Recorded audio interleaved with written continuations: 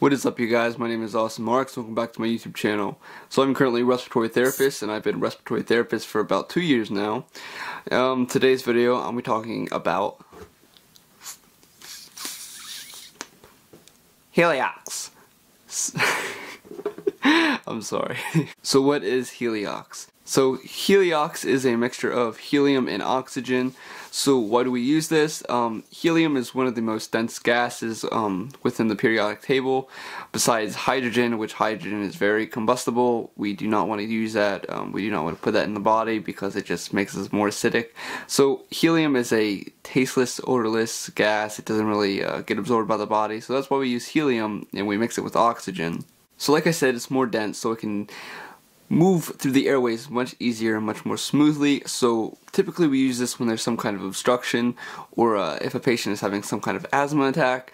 So the airways are tight, they're not allowing much airflow to go through them. So therefore we use the Heliox um, which allows the air to pass through the obstruction. So if a child may have swallowed uh, like a Lego or something, it allows air to move past that into the lungs or with the asthma attack, the airways are clamped down and maybe bronchodilators are not working, uh, steroids are not working, we'll go ahead and use the Heliox, that way it can get down to the alveoli and create that gas exchange.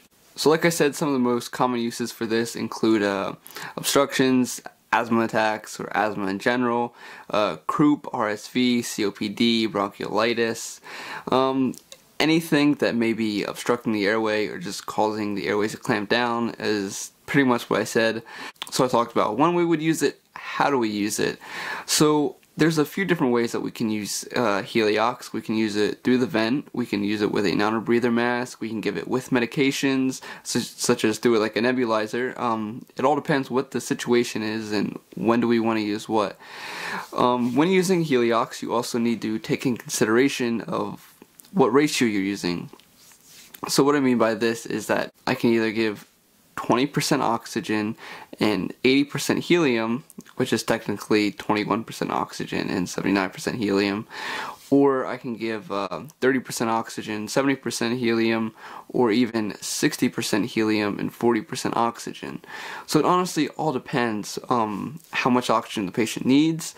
For example, so if a little kid just swallowed that Lego and he doesn't really need that excess oxygen, however he needs oxygen to get down to his alveoli, we may just use the 2179 uh, ratio just to go ahead and get the air down until we can officially go ahead and get that Lego out. If we have an asthma patient who's having a pretty severe attack and they need some extra oxygen, we may go ahead and use uh, the 70-30. It honestly all depends and the more oxygen that you use compared to the helium, the gas goes ahead and gets a little heavier, a little bit more dense, and therefore it doesn't go in the airway as smoothly as if you were using more helium.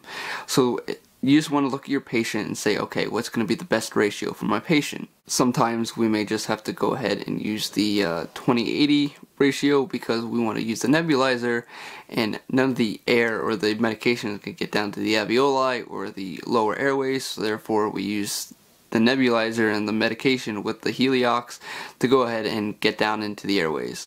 So you want to know these different ratios. Like I said, you have 80-20, 70-30, and 60-40. So I have different conversion factors for these different ratios. So for example, um, if I'm using 80-20, I want to go ahead and use the conversion factor 1.8. So if I'm giving my patient 10 liters, I want to actually give him 18 liters on the flow meter. So this is because the gas is more dense, it's more lighter, so therefore it doesn't get as much flow. That little ball is made for oxygen, it's made for the density of oxygen, so it throws off everything a little bit. So if I'm using 70-30, I need to go ahead and use the conversion factor 1.6. And then if I'm using 60-40, I need to use the conversion factor 1.4. So I put these um, ratios along with their conversion factors to the side of me here. So if you need to pause the video, write those down, just remember them because I did have a question on my TMC or my boards that asked me about this. So this is some pretty important information that you guys need to know. Typically if you're doing this in the clinical setting, um, on all the devices they have a little sheet saying, okay, if you're giving this much oxygen at this ratio, this is what the flow meter should be set to. Everything is kind of self-explanatory. So where's the most common places that you're going to see Heliox used? It's either going to be down in the emergency room or up in the ICU. Uh, it honestly all depends on the situation. Um, like I said, if asthma patient comes in and they're having trouble breathing, you may want to put that Heliox on right away if none of the bronchodilators or steroids aren't working as well. Typically, helium is a brown tank and Heliox is a brown and green tank, so make sure to keep your eyes out for that. That was also another question on my boards. Um, it asked about the tanks and the colors.